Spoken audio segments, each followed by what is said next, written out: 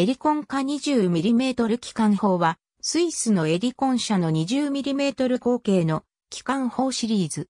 エリコン化シリーズの最初の製品がエリコンカーである。これは当初タイプ 204GK と呼ばれていたもので、第二次世界大戦中に使用されていたエリコン FF20mm 機関砲をもとに設計を改良し、また新開発の 20X128mm 弾を使用するように変更されたものである。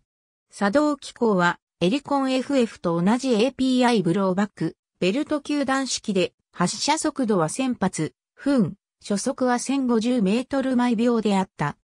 次に開発されたのがエリコンコップで、これは当初エリコン 5TG と呼ばれていた。カーと同じく 20X128mm 弾を使用する一方、作動機構はガス圧作動式となっている。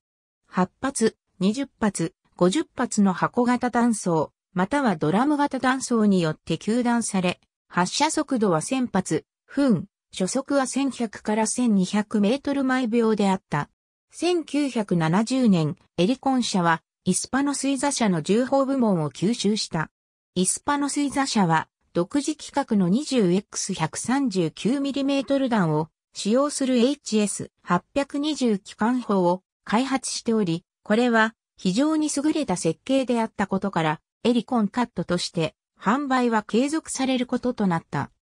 作動機構はガス圧作動式、発射速度は1000発、分、初速は秒速1100メートルで、有効射程は1500メートルであった。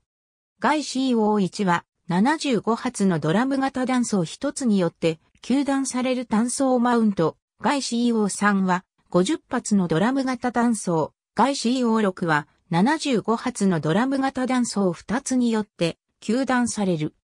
また、1970年代中盤に開発されたガイドゥ1は120発の箱型弾層を2つずつ使用する油圧駆動の連装マウントでレーダー射撃管制装置で統制される。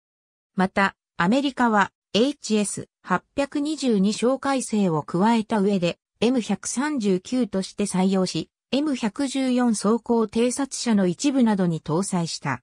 また、次期不評戦闘車や XM800 装甲、偵察車の主武装としても予定されていたが、20mm 口径弾では、榴弾威力が不足であることから、量産型の M2 ブラッドレー不評戦闘車では 25mm 口径の M242 ブッシュマスターが採用された。ありがとうございます。